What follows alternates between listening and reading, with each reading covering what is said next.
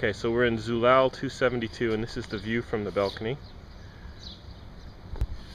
Katrina's going to be a lot of these videos today. so it's a semi, not far from the pool. a dog next door.